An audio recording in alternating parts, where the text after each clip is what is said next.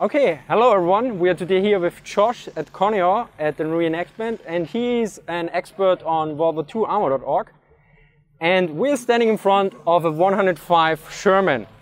And what often comes up is usually that people complain why the US forces didn't went into Normandy with a 76 millimeter gun mainly employed. And he brought up some very interesting data that actually the troops, for the most part, preferred the 75 millimeter. Correct. So there's a, there's a little bit of information there to unpack. Um, the 75 millimeter has some very interesting attributes that the troops actually preferred and thought were really cool. Um, if you wanted to engage enemy armor, obviously the 76 millimeter would be the one to, to use for it. They found in North Africa when it was on um, the ballistically identical three inch gun, it could penetrate the front of a Tiger 1 from a distance of about 1,300, 1,500 yards. That's in both ballistics reports done by the, the US and the British, and then it's also in uh, after action and combat reports uh, by US tank destroyer battalions. Um, so the 76 millimeter three inch gun was a very good gun, at least in terms of a 1943 1944 gun for anti tank use. But when they tried to offer it to the tankers that were going over into Europe, a lot of them were not interested in it. And there's a very intriguing reason why. A lot of that has to do with target analysis. So in 1951, there was a study done, um, it, the document is ORO T117. It was done taking a look at comprehensive results of, of tank combat during World War II. And as part of that, they studied what were tankers shooting at. And they found some very interesting statistics. Um, one of the big ones was that during World War II, they found in the ETO only about 14, 14.7% of the time were they actually shooting at enemy tanks and enemy uh, armored fighting vehicles. Um, most of the time, they were actually shooting at everything else fortifications, bunkers, infantry, so on and so forth. So basically, a lot of times we always think due to various computer games and also movies that tanks were fighting tanks all the time in World War II, which is inaccurate. And also, the Wehrmacht is always portrayed as this mighty force with Panthers, but also in 1944 they had way less already. Also, the logistical situation due to interdiction and everything was quite different. So US troops were mainly fighting infantry and fortified positions. Well, they were fighting some tanks, but what were they? What they were fighting and what they were, you know, what was heavily armored to be an, a, a problem was not nearly as what you think. When you take a look at, say, like how many Tiger ones were deployed in in, in hot zones that had Tigers. For example, Zaloga quotes in Patton's in the versus the Panzers. He thinks about 60 Tigers at any one time in North Africa and Italy which they had several battalions deployed over there. And you look when they were when they were deployed, like for example in Sicily, they deployed 17 Tigers and they lost them literally in the space of a yeah. day or two. So basically, uh, a Tiger heavy battalion was about 45 tanks. Mm-hmm. Nominal strength, how many then were operational is uh, something completely different again. So if you're fighting like two or three battalions, at most you have 90 to 135 Tigers at most right. as opposition. But then, yeah, it's becoming less. Right, and if you take like the Panther, which was one of the other significant threats, they think about 300 to 450 Panthers were actually operational in the European theater of operations. Still running the numbers on that one. But um, of those, we have to ask how many of them were actually able to show up for fighting. So if there's 350, 400 different Panthers in, in theater, some of them are going to be in maintenance depots, some are going to be held in reserve, some are going to be on the front lines, some of them are going to be being repaired. How many are actually going to show up in battle, especially when you look at the U.S. logistics and realize that about, on some days, they were, they were fielding as high as like 2,000 uh, Sherman tanks per Army group. So if they could show up and contest an area of ground with a tank, they'd win by yeah. default. I mean, he who shows up with tanks is going to win. But to that point, there's an interesting thing that a lot of people forget about when it comes to U.S. tank guns. So in 1946, they did a, a, a look at U.S. or U.S. Uh, high explosive artillery, which is interesting because around 80% of the rounds fired during World War II were high explosive, either smoke or high explosive, and that was on all sides: U.S., British, Canadian, German they were all shooting a lot of high explosives. Yeah. And if you wanted to, to sling HE at somebody, which tank gun would you want? This In the one. background here, I have a 105 millimeter, and obviously that would be the one I would totally want. But why? Why would I want that? So if you take a look and you run the numbers of that, the study took and they took an artillery shell, they put it in the center of a testing range, they blew it up, and then they counted in a 20 foot radius all the shrapnel that could produce a casualty. And they counted it up, and there was some really interesting takeaways of it. So obviously, if you wanted to cause shrapnel casualties, you would do so with 105 millimeter. They had around 1,010 shrapnel pieces that they were able to count and say that these could produce a casualty in a 20 foot radius. That's why the 105 was so successful against, say, uh, anti tank guns, because you hit anywhere close to it, you're Yeah. obviously going to kill off some of the crew. But the surprise second place comes into the 75 millimeter. Because it's also a howitzer, it's a short barrel, low velocity gun, you can have a larger, longer shell that holds more HE filler. And that one came in just behind the 105 millimeter at 950 pieces of shrapnel in that 20 foot radius. Now they obviously tested other guns too because they were curious about this. And the 90 came in in third place at 672 pieces of shrapnel in that 20 foot uh, circle. And the worst performer out of all of them was the 76 millimeter, which came in at 560 pieces of shrapnel. So less than a half. 560, less than half of that of the of the 75 millimeter. So if you're shooting at what the normal target was for uh, for a, uh, a tanker of World War II, you're going to be shooting at you know enemy vehicles, half tracks. You're going to be shooting at uh, soldiers, fortifications, bunkers.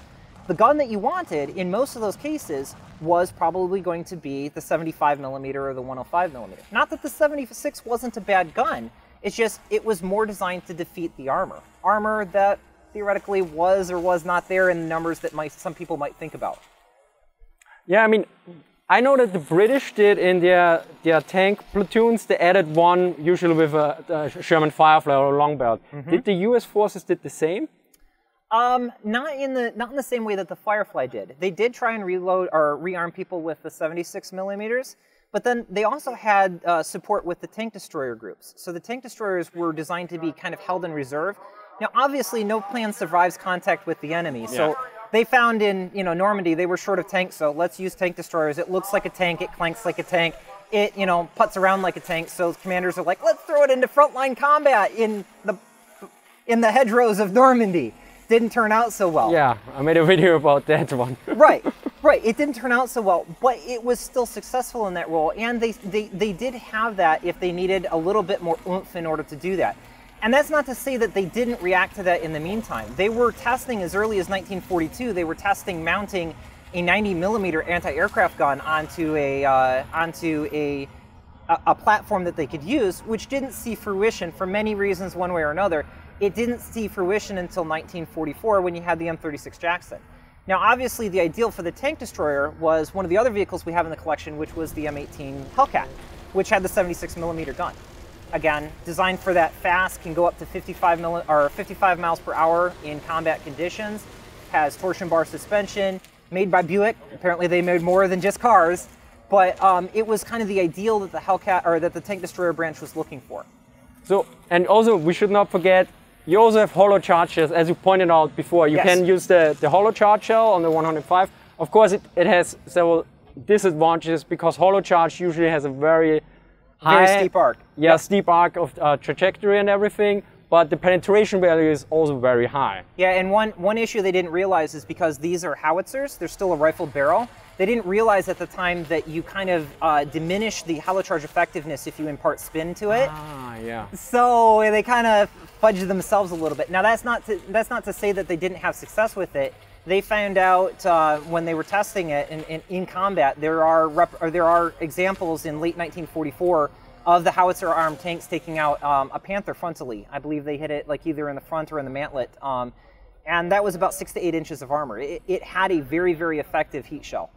Yeah, and also with heat shells, I mean, this is pointed out in a in a in the StuG in the StuG school video that the Germans noted. Okay, the disadvantage is the the high, steep trajectory, but you can also use a heat shell against infantry to a certain degree because it's also explosive, high Correct. explosive anti-tank, as the name Yes. implies. So which also fits there. So in in doubt, you shoot there and you probably kill something or damage something. Correct. And actually, there's a there's an interesting story about HE. So, um, in Africa, North Africa, most of the British tanks up to that time, the, they had the two pounder gun, uh, which is a great gun, and um, it had an HE shell, but it wasn't commonly used. And if it wasn't commonly used, it wasn't actually issued a lot. Apparently, it was enough that that um, people from from World War II thought it was fairly rare, or they hadn't seen it. Um, if you look at the if you look at memoirs. Um, interestingly enough, one of the first vehicles to introduce that was the M3 Lee, which was armed with the same 75 millimeter gun, which gave them tremendous HE uh, capability, which they used in that same thing. They were able to take out anti-tank guns from a fair distance away eh, without fear of reprisal like they hadn't previously because you had to have a direct hit if you have a solid AP projectile. Yeah. You have to hit on the shield or you have to hit somebody. With an HE, actually gunnery manuals from World War II teach uh, a near miss is almost as good. You can actually skip a shot. Yeah. So you can do a super quick fuse or you can do a timed fuse, a time delay. Yeah. And if you aim short, you can skip the shot up and have it burst Yeah, overhead. bounce, yeah. Yeah, and actually they taught that. It, there's a fair amount of almost field artillery uh, usage that's taught to the tankers of the day.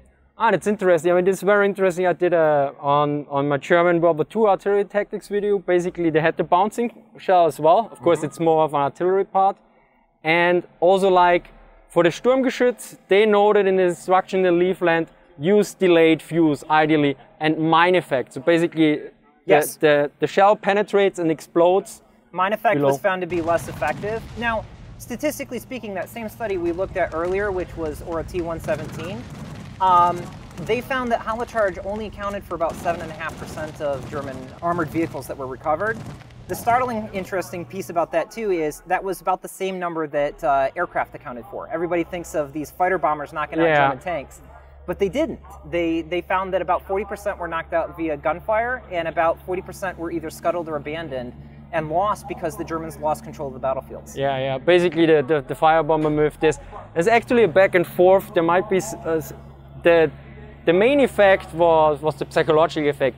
Already in, in 1939 and 1940, the Germans noted even against artillery, the French artillery, that the destructive effect of their Stuka attacks was limited.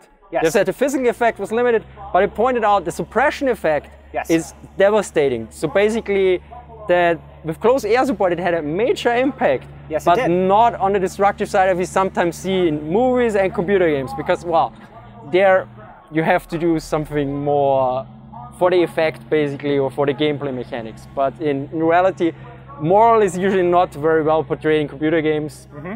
for understandable reasons. Yeah. Well, as we pointed out earlier, um, if you can show up to a battlefield with a tank, then you can contest said battlefield. If you Yeah. show up with infantry and your, your enemy shows up with tanks, it's not going to be much of a, a contest.